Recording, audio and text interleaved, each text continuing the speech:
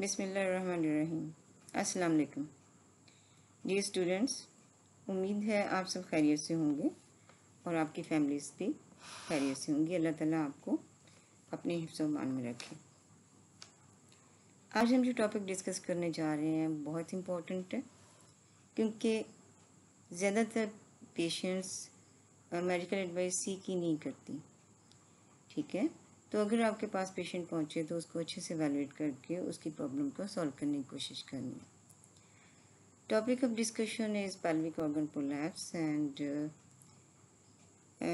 today's lecture aim to help you understand the condition better and it also help you and your patient to make a better decision about their problem learning outcomes at the end of the lecture you should be able to review the epidemiology and etiology, able to describe the three major categories of pelvic organ prolapse. You will be able to identify the relevant aspect of history and physical examination that is in context with the prolapse, identify the treatment option for various categories of prolapse including conservative therapies. Signposting is this and we will discuss one by one. Pelvic organ prolapse basically a silent epidemic. क्यों silent epidemic है कि ज़्यादा patients आपके पास आते नहीं?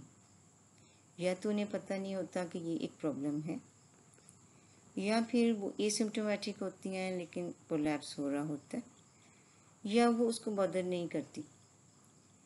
ज़्यादातर ये बीमारी है ओल्ड एज लोगों की। तो वो जो ओल्ड एज में ख़वान होती हैं, वो थोड़ा शाय फील करती हैं, बताने में कि उन्हें ये प्रॉब्लम है। वो कब आती हैं मेडिकल एडवाइस के लिए? जब उन्हें कुछ यूरिनरी कंप्लेंट्स हो और वो बावजू ना रह सकें, उन्हें कोई नमाज़ पढ़ने में प्रॉब्लम हो रही है तो तब ज़्यादा पेशेंट्स आपके पास आती हैं। और मोस्टली ये आपके पास तब प्रेजेंट करेंगे जब एडवांस हो। में जो डिज़ीज़ है ना, वो एडवांस हो चुकी होती है। तो बेसिकली क्या है pelvic organ prolapse uh, is not a life threatening condition it is associated with bladder and bowel dysfunction that affect the quality of life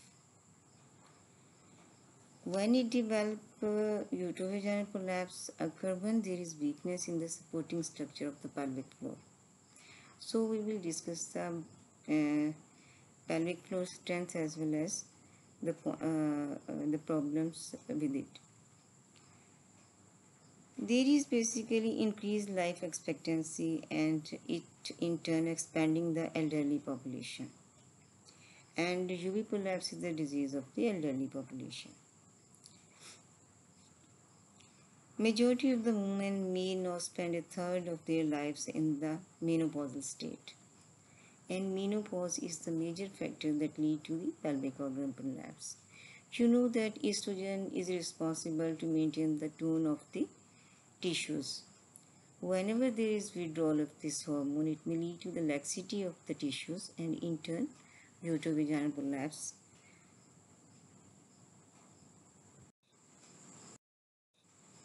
What is the prevalence and incidence of this problem? It is difficult to know exactly how many women are affected by the prolapse, since many do not go to their doctor about it. But the incidence of this problem is different in different countries and in different races. It is directly related to the level of the ops care and the family size. So uh, it is more common in the underdeveloped than in the developed countries. On the whole, it affects 12 to 30 percent of multiparous, so common in the multiparous women, but only uh, affect the 2 percent of nulliparous women.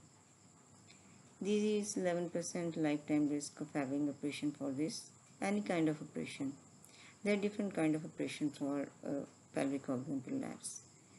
Out of one third out of these 11 percent are for the recurrent prolapse. जब एक दफ़ा prolapse आप treat कर देते हो तो laxity तो tissue की रहेगी ना, ठीक है ना? तो आप उसको जितना भी ऑप्टिमली परफॉर्म कर लें, फिर भी उसमें टिश्यू लैक्सिटी जो है वो एग्जिस्ट करती है और लेटर ऑन वो दोबारा हो सकता है। ये प्रॉब्लम क्यों है? In less than two percent of mild cystocele may cause ureteric obstruction problem यहाँ आती है जहाँ ये पैथोलॉजी बन जाए जब भी यूरिटरिक ऑब्स्ट्रक्शन आएगी there is backflow of the urine that will lead to the hydroureter and later on hydronephrosis on both sides. That may damage the renal parenchyma and later on change into chronic renal problem. Although in mild cystocele, less than 2% may develop ureteric obstruction, so it is important to study this and how to treat or manage the problem. 33 to 92 percent of complete prolapse of the associated with some degree of ureteric obstruction. तो basically तो ये life threatening नहीं है लेकिन इसकी complication life threatening हो सकती है ठीक है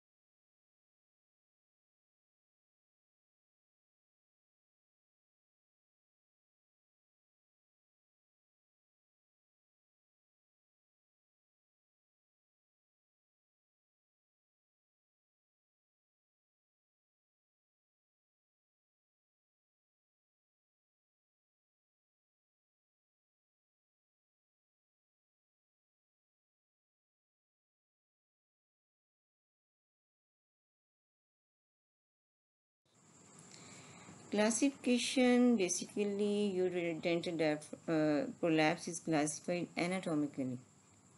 Anatomically आप इसको classify करते हो on the site and location of the defect कि कहाँ पे defect है एंटीरियर वेजिनल वॉल में कहाँ डिफेक्ट है पोस्टीरियर कंपार्टमेंट में कहाँ डिफेक्ट है जो सेंट्रल पोर्शन है उसको एपिकल पोर्शन बोलते हो उसमें कहाँ डिफेक्ट है और कौन सी विसरा इसमें इन्वॉल्व हैं। तो उन बेसिस पे आप इसको क्लासिफाई करते हो। अब हम वन बाय वन इसको डिस्कस कर लेते हैं विद इमेज क्लैरिफिकेशन क्लासिफिकेशन जो है उसको आप स्प्लिट करते हो इंटीरियर कंपार्टमेंट इंटीरियर कंपार्टमेंट क्या है? Bladder urethra and interior vaginal wall उसमें क्या डिफेक्ट्स होने हैं? सिस्टोसील हो सकती है सिस्टो यूरिथ्रोसील एंड द यूरिथ्रोसील और are named um, according to the structure involved. Cystocele, cysto mean bladder, तो ब्लैडर डिसेंट को आप कहते हैं। सिस्टो यूर्थोसील जब दोनों ही डिसेंट कर जाए urethrocele when only there is urethro descent posterior compartment में बैक साइड पे रेक्टम है ठीक है ना? तो उसकी डिसेंट को आप कहोगे।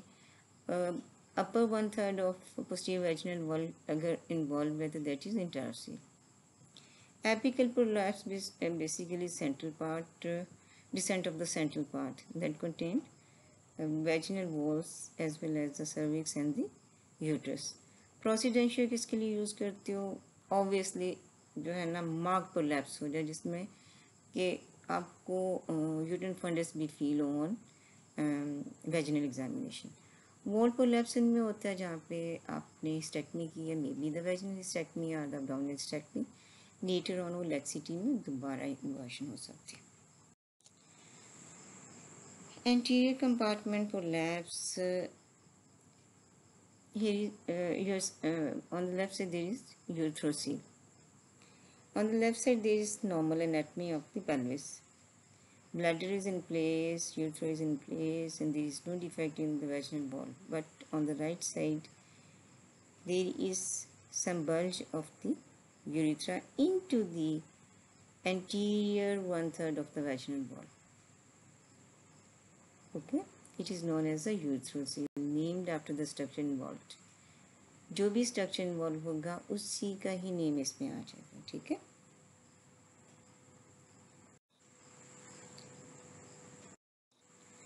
नेक्स्ट है cystocele cystocele basically represent a defect of the anterior compartment resulting in a bulge created by the bladder, moving into the vaginal space, ठीक है? जो लेफ़्ट साइड पे फिगर है, उसमें आप देख रहे हो कि inferior to the opening there is a rounded bulb that is known as a और राइट साइड पे नॉर्मल एनाटमी है, उसमें कोई ऐसी चीज़ नज़र नहीं आएगी। उसको आप कंपेयर कर सकते हो। ऑन द लेफ़्ट जो डिज़ीज़ पेशेंट की फिगर बनाई हुई उसके साथ, ठीक है? Usually the patient presented with a common complaint, uh, she may say that my bladder is falling out. It is most, most commonly um, encountered form of the prolapse. In this case, there is a prolapse of the upper two-third of the vaginal wall, not the lower one-third. In urethrosil, there is prolapse of the lower one-third of the vaginal wall. But in this case, there is defect in the upper two-third of the vaginal wall. This one is the apical prolapse. You can see on the right side there is obvious prolapse seen in the at the and on the left side a cut section. That means uh, you can clearly appreciate downward displacement of the uterus along with the cervix, and there is a protrusion of the vaginal walls outside the introitus. This one is a posterior compartment um, prolapse. On the left you may appreciate an pterosil and there is defect in the upper one third of the vaginal wall. Low two third of the vaginal wall is normal. No, the lower two third is also in problem and the upper one third is also in problem. On the right side there is normal anatomy. Uh, uh, on the right side the pouch of Douglas is shown that is normal and but the rectocele is present in the right image also and on the left image enterocele as well as the rectocele is shown.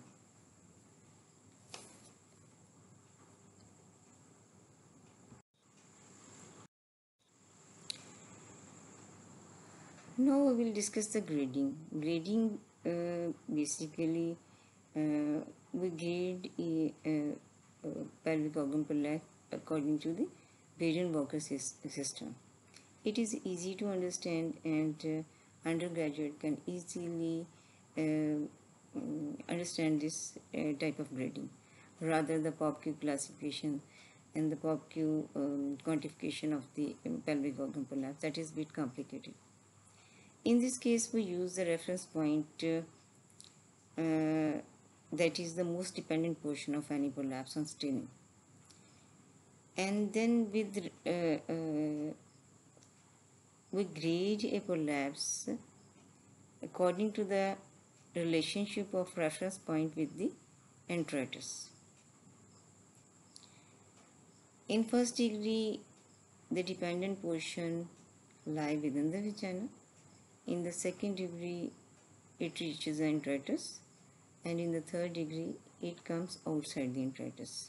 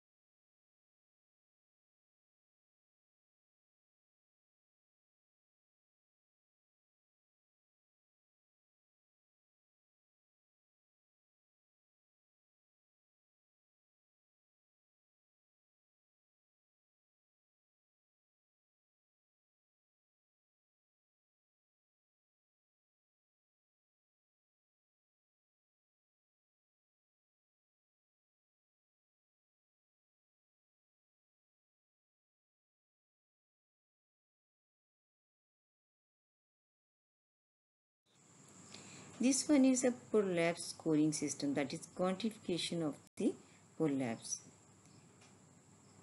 It is known as a pelvic organ prolapse quantification or the POPQ quantification.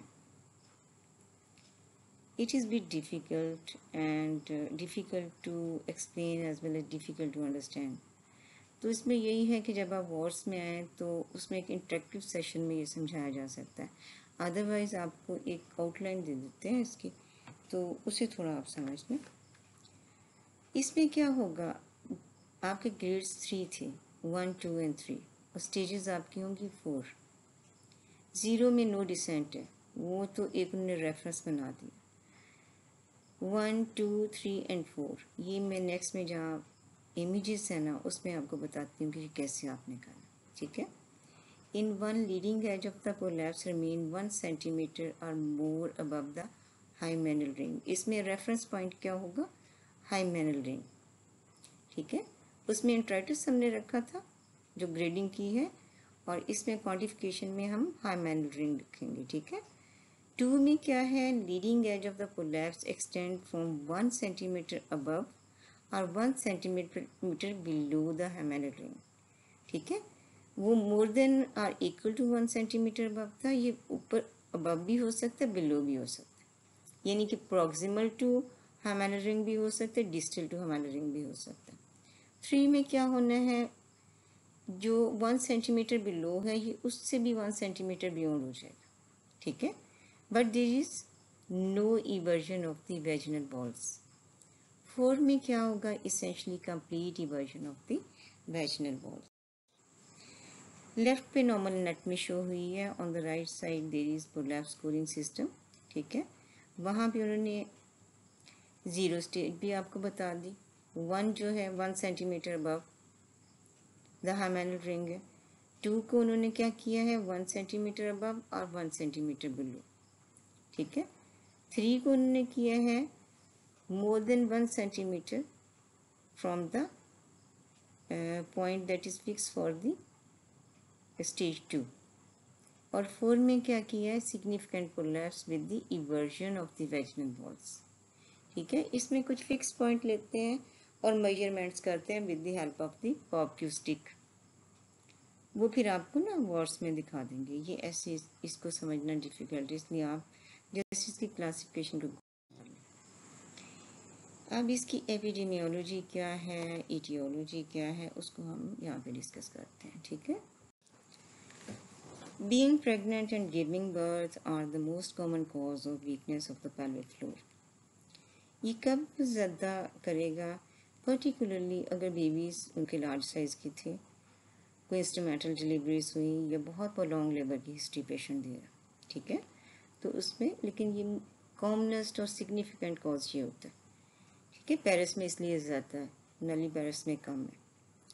Second it is more common as one get older particularly after menopause तो मैंने पहले भी आपको बताया कि tissue tone is maintained by the oestrogen Whenever there is withdrawal of the estrogen, it will lead to the laxity of the tissue and later on the patient may develop pelvic organ prolapse.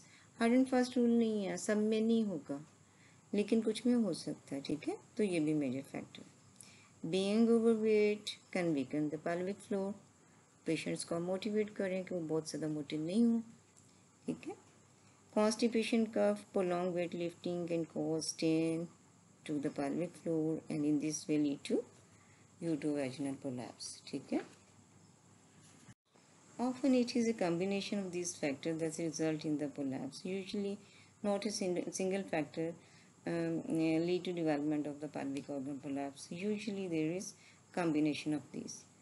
It is more common in the white and uh, uh, then our, in our Asians and then in black population. Congenital prolapse in, in um, uh, minority in very small percentage of patient and uh, these include prolapse in nullipara and in patient with Marfan syndrome जिनमें वो tissue defects होते हैं ना उनमें ये नज़र आ सकता है ठीक है Uh, know what is the pathophysiology. There are uh, three compartments uh, that undergone problem. and there are three components responsible for supporting the position of the uterus and the vagina and these three compartments वो क्या components हैं ligament फेशियस हो सकते हैं levator ani muscle that form the pelvic floor posterior angulation of the vagina कोई भी area damage हो जाए तो ये प्रॉब्लम कर सकता है are certain supports level one support is most important ये किससे बनती है? Uterosacral ligament and the cardinal ligament तो राइट साइड पे इमेज में ये दिखाया हुआ है कि कार्डिनल लिगामेंट किस एरिया को सपोर्ट करता है? यूट्रोसिकल कैसे? तो आप देख रहे हो कि ये जस्ट लाइक अ स्लिंग है, जिसने यूटर्स को होल्ड किया हुआ है in place in normal confine ठीक है?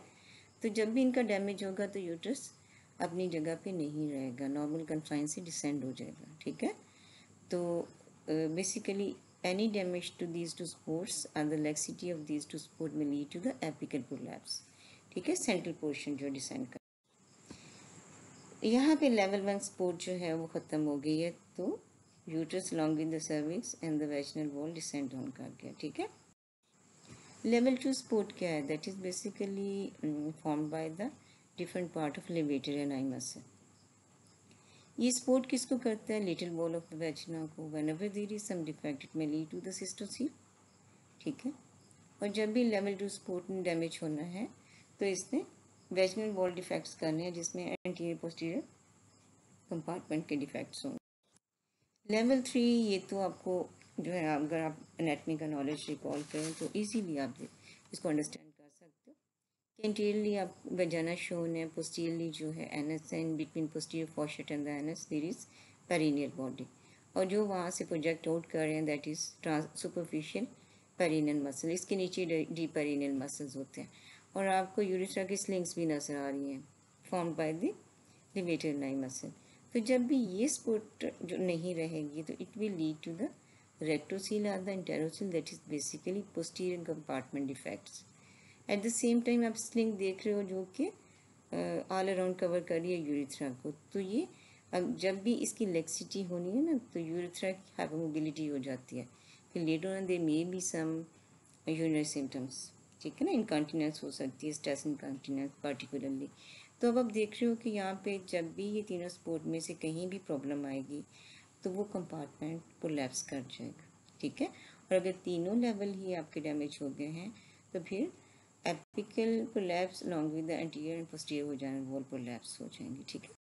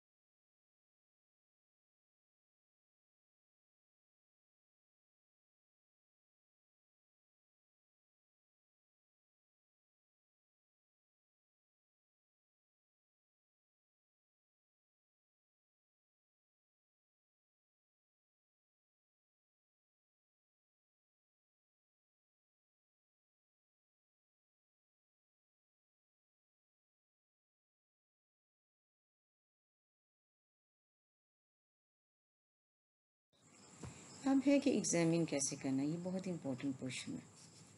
ठीक है? इसमें फ़र्स्ट ऑफ़ ऑल क्या मैंने आपसे कहा कि whenever there is involvement of the interior compartment it may lead to the urinary incontinence तो आप क्या करते हो? यूनरी इनकॉन्टीनेंस को आपने कैसे इलिसिट करना हम यहाँ पे इंटरेस्टेड हैं इन दिस स्ट्रेस इनकॉन्टीनेंस तो आप फुल ब्लैडर के साथ पेशेंट को बुलाते हो और लिथॉर्मी पोजीशन में एग्जामिन करते हो पेशेंट से कहते हो कि खांसी करे या बियर डाउन करे तो लीकेज ऑफ़ यूरिन होगी, ठीक है?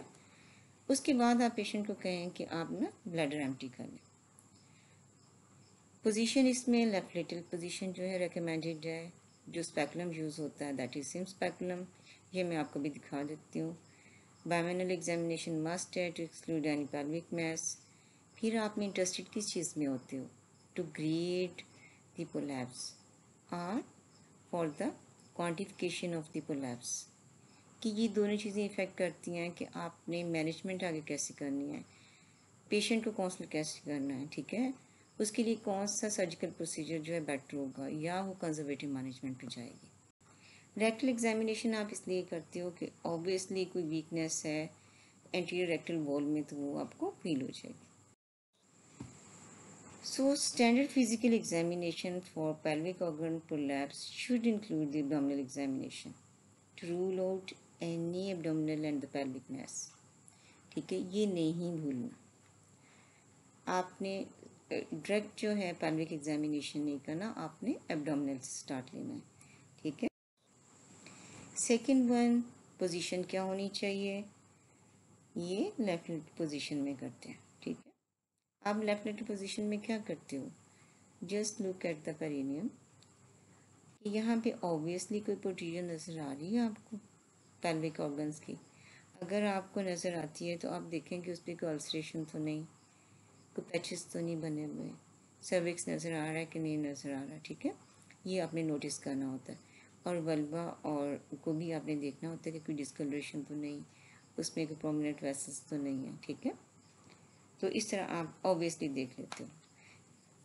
मोस्टली ज़रूरी नहीं है कि जब आप लेफ़्ट लेटेड पोजीशन में पेशेंट को एक्सपोज करें तो आपको कोलैप्स नज़र आए। इवन जो प्रोसीडेंशिया वो भी नज़र नहीं आता रिड्यूस हो चुका होता है। तो आपको पेशेंट को बियर डाउन कराना पड़ता है। बाद सालवा मनोवर में कि आप पुश करें पुश डाउन करें तो उससे फिर जो कोलैप्स है, वो अप्रेंट हो जाता है विजिबल हो जाता है एट दी एंट्राइटिस तो जब आप पेशेंट को बियर डाउन का कहते हो तो फिर आपने अगर क्वांटिफिकेशन ऑफ़ द कोलैप्स करनी है तो वो फिर पॉप क्यू स्टिक से आप मेजर करते हो। डिफरेंट फिक्स पॉइंट्स हैं जिनको मेजर करना होता है। ठीक है? वो जैसे मैंने पहले आपसे कहा कि वो इंटरेक्टिव सेशन के अलावा वो पॉसिबल नहीं है कि हम समझा सकें। अदरवाइज़ आपको उसका पता नहीं चलेगा। तो स्पेकुलम इसमें कौन सा यूज़ करोगे? सिम स्पेकुलम ठीक है? ये दोनों ही सिम स्पेकुलम है। ये नहीं कहना कि राइट साइड का तो सिम्स है तो लेफ़्ट साइड का कुछ और है। ये ऑस्पे में आपको आते हैं, इनके यूजेस भी आते हैं, ठीक है ना? कि क्या क्या यूजेस होंगे, ये कौन सा स्पेकुलम है तो इसको आप अच्छे से देख लो। प्रोलैप्स में कभी भी आप कॉस्को स्पेकुलम यूज़ नहीं करते, उसमें आपने सिम्स में यूज़ करना how you will evaluate the cystourethrosil whenever you want to evaluate the cystourethrosil you will retract the posterior vaginal wall and concentrate on the anterior vaginal wall either there is descent of the upper one third of the vaginal wall or the lower two third of the vaginal wall if, if upper one third then urethrosil if uh, lower two-third then cystocele and if whole vaginal wall is inverted then cystourethrosil. Don't retract the anterior vaginal wall to evaluate the anterior vaginal defect. To evaluate the posterior vaginal wall defect, you will retract the anterior vaginal wall and concentrate on the posterior vaginal wall. If there is a defect in the lower two-third that is rectocele and then there is exception. They will obliterate the uh, lower two-third of the posterior vaginal wall with the same speculum and ask the patient to cough. If there is bulge appear in the upper one third of the posterior vaginal wall, then it is enterocele. That is, pouch of Douglas descend down along with the intestinal loops. Okay. And last, by manual examination to confirm or find out the pelvic masses that may be responsible for the prolapse. ऊपर से pressure आएगा तो collapse उससे भी What is the differential diagnosis in case of the anterior wall? There may be urethral diverticulum, a growth, uh, a pedunculated growth usually um, protrude through the urethral orifice. This total relationship of this with the vaginal wall. Any type of inclusion cyst in the wall of the vagina large polyp, maybe fibroid polyp or the simple polyp, chronic uterine inversion. In case of the large polyp, there is no cervix or the well-defined uterus you can found in that. There is usually a ping pong ball along with long stalk. And in case of the uterine inversion, you are unable to uh, uh, identify the cervical loss because there is no cervical loss. The uterus invert inside out and at the introitus what is visible that is the uterine fundus.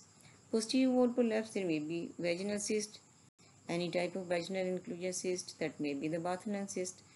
तो ये सब इसकी differential diagnosis में आएगा ठीक investigations basically no सेंशन investigation clinically आप इसको एग्जामिन करते हो क्लिनिकल डायग्नोसिस होती है हाँ असिस्ट आपने क्या कुछ चीज़ें आप कराते हो जिसमें आप कॉम्प्लिकेशंस को देखते हो Abdominal pelvic ultrasound आपने क्यों कराना है to rule out the pelvic masses assessment of the renal status start में मैंने आपको बताया था there may be kinking of the ureters that will lead to the um, hydroureter and the hydronephrosis and the renal failure अगर urinary symptoms हैं तो आप culture ज़रूर कराते हो that may be due to the infections simply infections cystometry if there is mixed urinary incontinence to differentiate between the stress and the um, urge in continence के दोनों की मैनेजमेंट बिल्कुल डिफरेंट है।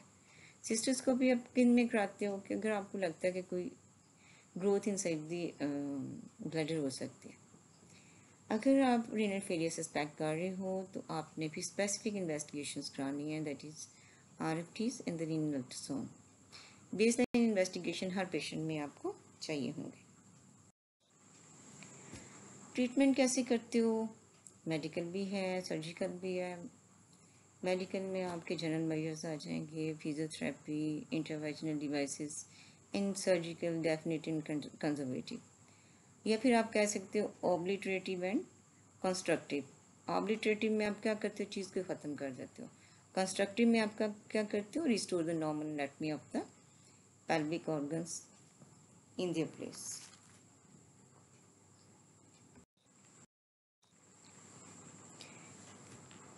Basically, there is a challenge during treatment involved around understanding what the patient expects to gain from the treatment. She may be bothered by the bladder, she may be bothered by the bubble or the bulge at the introitus. So, uh, the practitioner must carefully elicit the patient expectation for treatment and address them appropriately कि later on कोई confusion ना हो जो patient की intention है, वो आपने देखनी है, क्योंकि प्रॉब्लम तो उसको है। ऑब्वियसली आपको जो भी नज़र आता है, लेकिन ज़रूरी नहीं है कि जो ऑब्वियस है वो उसकी कंप्लेंट भी हो। वो किसी और वजह से भी आ सकती। ठीक है? तो मैनेजमेंट ऑप्शंस आपने इस तरह उसको देनी है कि वो पेशेंट गोल्स जो है ना, वो अचीव हो जाए। ये नहीं करना कि, नहीं, मैं तो वो जाने स्टेटमी करूँगी, इसके अलावा मैंने कुछ नहीं करना। ये थोड़ा सा एटीट्यूड ना गायनाकोलॉजिस्ट में होता है। कि नहीं, मैं तो यही करूँगी, आप क्यों नहीं कराना चाहती तो इसमें ये नहीं करना। जो पेशेंट के गोल्स हैं, आप उनको अचीव करने की कोशिश करें। क्योंकि पहले भी मैंने आपको बताया कि not the life threaten condition basically patient को क्या चीज़ बॉदर करती है, वो इम्पोर्टेंट है। उसको यूनिट सिम्टम्स बॉदर कर रही हैं बाउल कर रही हैं, उसको मैस बॉदर कर रहा है may be some problem with the sexual activity जिसके लिए वो आपके पास है तो आपने उसके गोल्स को देखना है। कंसिडर क्या करना है, her age wishes for to have the children more childrens disease का एक्सटेंट क्या है is there any urinary symptoms what is her level of fitness और क्वाइटेड फ़ंक्शन के लिए उसकी डिज़ायर ठीक है? कंजर्वेटिव में आप क्या करेंगे? You will motivate the patient उसे रीश्योर कराओगे कि अभी इतनी प्रॉब्लम नहीं there is certain lifestyle changes that can lead to improvement pelvic floor exercises हैं। पैल्विक फ्लोर एक्सरसाइज ऐसी नहीं है कि आप उसे एक बताएँ भेज दें। उसके लिए प्रॉपर डेडिकेटेड सेंटर्स होते हैं for the proper pelvic floor exercises और ये स्टडीज़ ने भी शो किया है कि स्टेटिस्टिकली सिग्निफिकेंट डिफरेंस आता है in the same terms as well as in the prolapse जब आप उसको प्रॉपर वे में पैल्विक फ्लोर एक्सरसाइजेज पेशेंट को कराते हो। वेजिनल हार्मोन ट्रीटमेंट इसका कोई इतना ख़ास रोल नहीं है, ठीक है? दे भी सकते हो, नहीं कंजर्वेटिव में जो कॉमनली यूज़ होती है that is intravaginal devices known as pessaries pessaries बहुत तरह की आती हैं। तो उसमें से जो है रिंग पैसरी जो है, ज़्यादा यूज़ होती है। यहाँ भी आपने जब करना है तो पेशेंट चाहे कि नहीं, मैंने सर्जरी नहीं करानी, ठीक है? मेडिकली अनफिट है। उसकी चाइल्ड बेरिंग कंप्लीट ही नहीं, वो और बेबीज चाहती है और वो सर्जरी नहीं चाहती ड्यूरिंग आफ्टर प्रेगनेंसी उस टाइम पे आप कोई और प्रोसीजर नहीं कर सकते तो आप ये ट्राई कर सकते हो। या पेशेंट वेट कर रहा है सर्जरी के लिए। दूसरा, ये एक टेस्ट भी हो सकता है, ठीक है ना?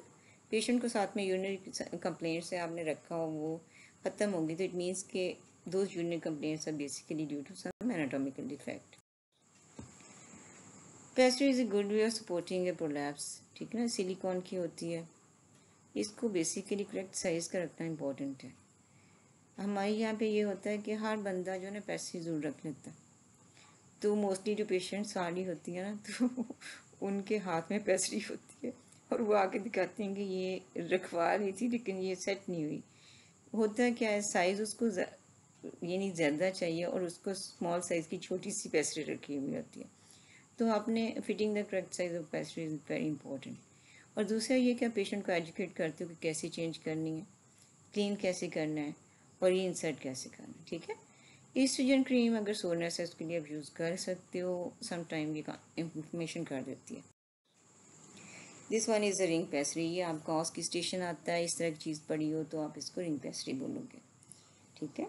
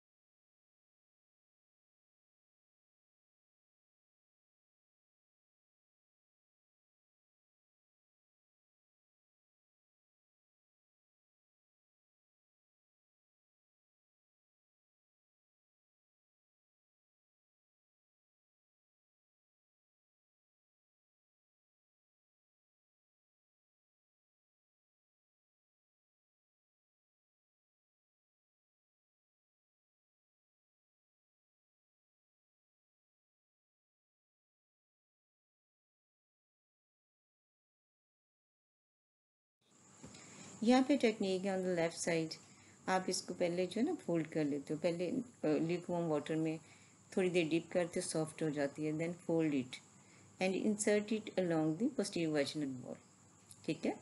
When the leading edge of the pessary uh, lies in the um, posterior fornix then uh, push it upward and anteriorly toward fornix तो ये अपनी प्लेस पे आ जाती है। ठीक है? राइट साइड प्लेसमेंट दिखाई अब सर्जरी कैसे करनी है इसमें डिफरेंट नेम्स हैं, ये आपको आने चाहिए। In case of cystourethrocele anterior repair and the colposuspension anterior repair through the vaginal route colposuspension through the abdominal route in case of the rectocele posterior repair the posterior colporrhaphy whenever there is swelling constipation then conservative management ठीक है?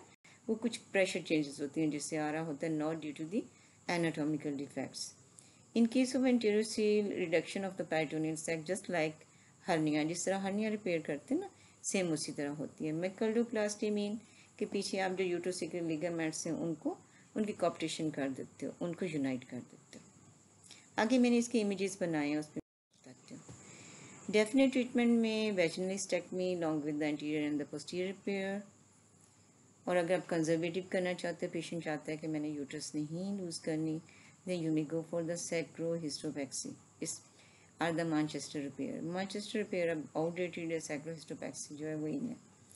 Vault repair करना है तो vaginal repair भी हो सकती है in the form of the sacrospinous fixation और एब्डोमिनल रूट से आप करोगे तो सैक्रोकॉर्पोपैक्सी करोगे just like the sacrohysteropexy colpocleisis means closure of the vagina ये उन पेशेंट्स में आप करते हो जिनको सेक्शुअल एक्टिविटी जिन्हें रिज्यूम नहीं करनी होती।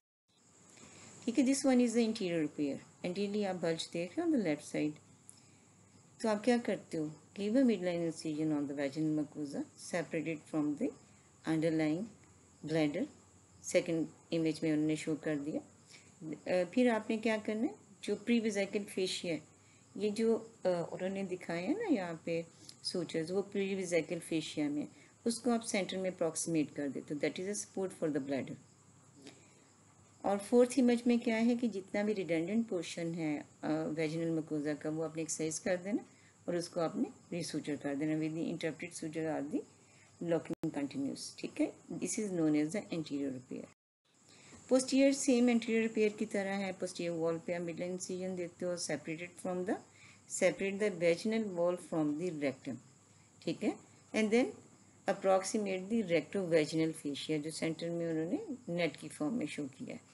And at last आप redundant portion of the uh, vaginal को एक्सरसाइज करते हो and then suture the edges in the midline ठीक है? तो ये आपकी posterior repair the posterior colpoperineal है इसको।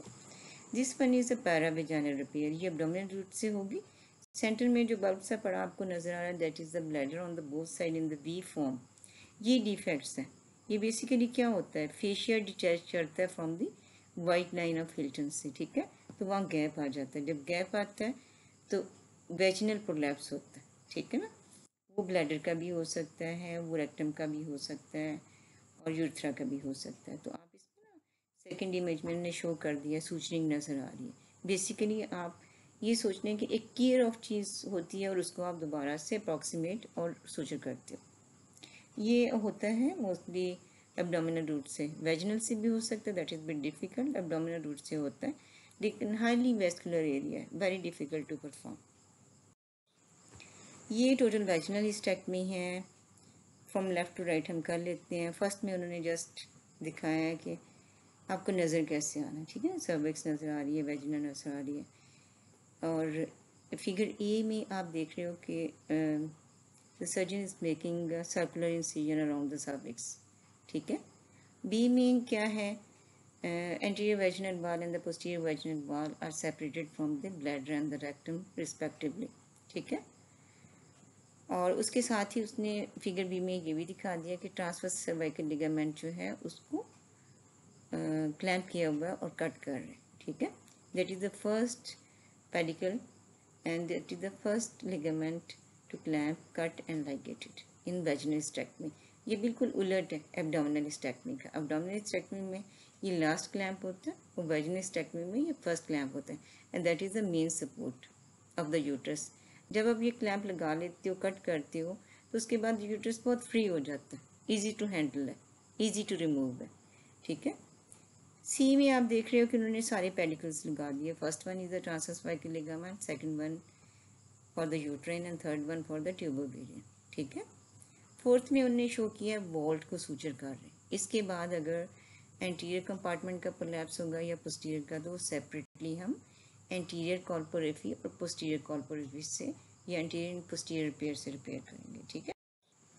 This one is a sacrocolpopexy in stigmatized patient and you suture the mesh to the uh, dome of the vagina as well wall and pull it retroperitoneally up to the sacral promontory. और फिर उसको suture कर देते हो आप anterior longitudinal ligament के साथ, ठीक है ना? एंटीरियर लॉन्गिट्यूडल लिगामेंट बहुत टफ लिगामेंट है। तो वहाँ जब आप इसको सूचर करते हो, इसमें मैश यूज़ होते हैं, ठीक है ना? जिस तरह हर्निया में मैश यूज़ होता है ना सेम वही मैश इसमें भी यूज़ होता है, ठीक है? इसमें एंगुलेशन ठीक रहती है यूट्रस की सेक्शन एक्टिविटी प्रॉपर रहती है, इसके एडवांटेज ये है सेक्रोस्पाइनस फिक्सेशन आपने सी जो फिगर है, इसमें आप देख रहे हो प्रॉपर नेटमी शो की हुई है और सेक्रोस्पाइनस लेगामेंट भी शो किया हुआ आप इसमें क्या करते हो? पैरावेजानल एरिया में स्पेस क्रिएट करके आपने आइडेंटिफाई करना सेक्रोस्पाइनस लेगामेंट और फिर आप जो है ना डोम ऑफ़ द पोलैप्स उसको नॉन ऑब्जॉर्वेबल सूचर के साथ इसके साथ अटैच कर देते हो, ठीक है? तो ये ये फिर यानी कि थ्रू द पेरिनियल अप्रोच हो जाता है। और इसमें भी बुलास ट्रीट हो सकता है। ठीक है? इसका ये प्रॉब्लम ये होता है कि समटाइम इसमें कोई वेसल्स जो हैं या नर्व्स इंट्रैप हो जाती हैं तो वो कॉम्प्लिकेट कर सकते हैं। Last one is the food of the colpocleisis इसमें क्या होता है कि just closure of the vagina A figure में क्या करते हैं वो कि एंटीरियर वेजनल वॉल और पोस्टीरियर वेजनल वॉल से मिरर इमेज में कुछ फ्लैप्स जो है वो रिमूव कर देते हैं। Later on both raw area on the anterior vaginal wall and the posterior vaginal wall उनको आपस में जो है सूचर कर देते हैं थ्रू द इंटरप्टेड सूचर्स तो वो कैसे होता है? अपसाइड डाउन हो जाता है ना? अंदर चला जाता है सारा कुछ। एंड में क्या आपके पास होना है? Just the vaginal wall one centimetre का आपके पास बचता है इन्फीरियर टू दी यूरिथ्रा और पोस्टेरियरली आपके जो वेजनल वॉल मिलनी है, वो भी about one two two centimetre होगी। उन दोनों को आप जो है सूचर कर देते हो। तो इसमें वेजिना क्लोज हो जाता है। इसमें ये प्री रिक्विजिट है कि आप पहले ये कंफर्म कर लें कि पेशेंट को कोई एंडोमीट्रियल प्रॉब्लम तो नहीं है कार्सिनोमा तो नहीं है सर्वाइकल कार्सिनोमा ठीक है? प्रिवेंशन आपने कैसे करनी है? स्मॉलर फैमिली साइज़ इसके लिए कॉन्ट्रसेप्शन चाहिए, ठीक है? Health education of the families फिर इसके साथ आपको ऑप्टिमल एंटीनेटल पोस्टनेटल केयर भी देनी पड़ेगी। Dedicated centre for the deliveries ठीक है ना? डेडिकेटेड सूट्स बनाएँ, जहाँ पे वो शॉर्टन करें सेकेंड स्टेज ऑफ़ लेबर को ट्रोमाटिक डिलीवरीज ना हों। डाइटरी एडवाइस हो, जिससे कॉन्स्टिपेशन ना रहे। और फिर मोटिवेट करें कि वो अपनी को मोबिडिटीज़ जो है, उनको अच्छा ट्रीट करा लें जहाँ तक एपिजोटमी और हार्मोन रिप्लेसमेंट है, इसका भी रोल प्रूवन नहीं है। तो कंक्लूजन क्या हुआ? Although it is not life threatening but it is responsible for a significant degree of mobility and impairment of quality of life ठीक है ना? वो तो करती है। अगर उसको यूरिनरी सिम्टम्स हैं तो वो तो पेशेंट तो ट्रैवल भी नहीं कर सके। किसी घर नहीं जा सके। सेक्शुअल प्रॉब्लम्स हैं, उसकी पर्सनल लाइफ डिस्टर्ब होती है। अगर पोस्टीरियर कंपार्टमेंट में इश्यूज़ हैं तो तब भी उसको प्रॉब्लम्स हो सकते हैं, जो कि उसकी क्वालिटी ऑफ़ लाइफ को इफ़ेक्ट करते हैं, ठीक है? तो ऑल दो नॉट लाइफ थ्रेटनिंग ज़रूरी नहीं है कि जो कंडीशन लाइफ थ्रेटनिंग है, उसी को ट्रीट करना है। जो भी कंडीशन क्वालिटी ऑफ़ लाइफ को अफेक्ट करती है, उसको ट्रीट करना ज़रूरी होता है। Key points are prolapse is very common हम जो इंसिडेंट्स बताते हैं, वो ज़रूरी नहीं कि वही हो। Prolapse can affect the quality of life by causing bladder and bowel function Conservative management include pastries and the physiotherapy surgery should be tailored to the need of the individual needs. ठीक है, ये बहुत important कभी भी यहाँ stubborn नहीं हो जाए कि मैंने यही करना है। ठीक है पेशेंट को ज़रूर सुनना है। Always listen to the patient and then decide ठीक है? इम्पोज नहीं करते डिसीज़न पेशेंट हाँ मतलब वो बिल्कुल नहीं समझ रही। फिर आपकी काउंसलिंग ऐसी होनी चाहिए कि आप उसको बेस्ट पॉसिबल की तरफ़ ले जाएँ। ठीक है ना? हमारे सर्कमस्टांसिस में ये होता है। Complicated cases are best manage using a multi discipline approach ठीक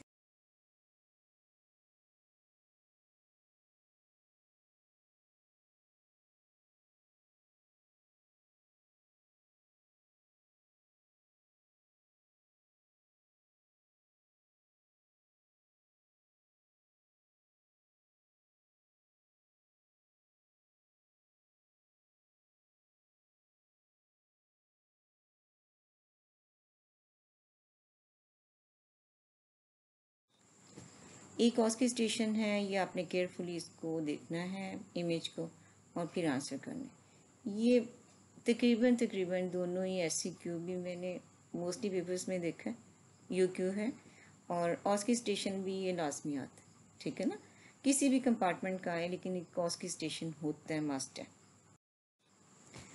थैंक यू क्वेश्चन हो तो आप ज़रूर करें। इस टाइम मुझे लगता है मैं भी थक चुकी हूँ और आप भी थक चुकी हैं और ये छोटा सा जो है ना, बर्ड ये हम सब की प्रेजेंटेशन कर ठीक है? हम सबको ही रिप्रेजेंट कर अल्लाह ताला आपको अपने हिफ्स मान में रखे। अल्लाह हाफिज़। Stay blessed